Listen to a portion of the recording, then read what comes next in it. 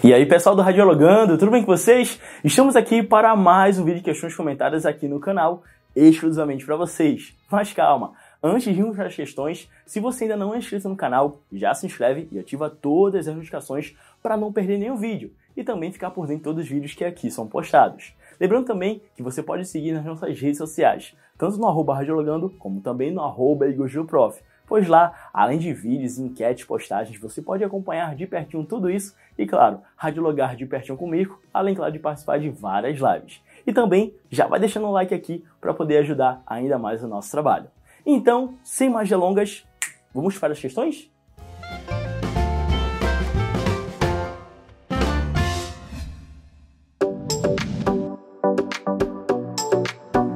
Bom, trago hoje aqui para vocês algumas questões relacionadas a parâmetros de qualidade da imagem, bem como de como o exame deve ser realizado. Se liga só na primeira questão e ela diz o seguinte: A anatomia patológica é um estudo que pode ser considerado ou estudado o quê? Letra A, apenas com o uso dos exames de raio-x. Letra B, apenas com exames de tomografia computadorizada. Letra C, apenas com exames laboratoriais. Ou letra D, por qualquer tipo de exame, ou seja ele de imagem ou laboratorial. E aí, esses estudos patológicos, eles podem ser estudados por qual técnica ou por qual alternativa? Letra A, B, C ou D? Qual a questão que você marcou ou qual a questão aí que você marcaria nessa questão? Eu vou te dar um tempinho para você pensar bem e me dizer qual é a resposta correta. Ora, se você marcou aqui a letra D, onde diz qualquer técnica, seja ela de imagem ou laboratorial, a sua resposta está correta. Afinal de contas, as patologias elas podem ser identificadas por diversos métodos, seja exames laboratoriais, inclusive os de imagem também, que são amplamente utilizados. Então, a resposta letra D é a resposta correta. Vamos agora para a segunda questão.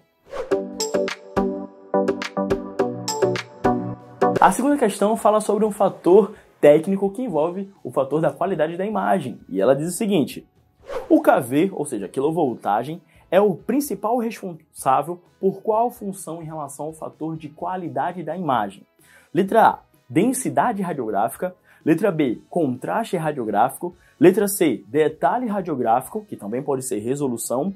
Ou letra D, distorção radiográfica. E aí, o KV ele é o fator primário que vai controlar qual fator de qualidade de imagem em relação ao exame radiográfico. Letra A, B, C ou D. Qual a resposta que você marcou ou qual a resposta que você marcaria? Ora, se você marcou aí a letra B, onde diz contraste radiográfico, a sua resposta está correta. Lembrando que contraste radiográfico é totalmente diferente de contraste radiológico, tá, gente? E o contraste radiográfico, então, é basicamente a diferença entre os tons de cinzas que são produzidos na imagem em relação ao tom de cinza mais escuro e o tom de cinza mais claro que no exame radiográfico é dito como radiolucente e também radiopaco, tá bom?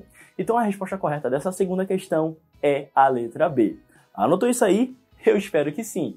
Vamos então agora para a terceira questão. Na terceira questão, fala aqui de como é que pode ser realizado um procedimento. E se liga só no que essa questão pergunta. Para o estudo radiográfico da coluna lombar, a distância foco-filme utilizada na incidência em AP deve ser de quanto? Letra A, 1,30m.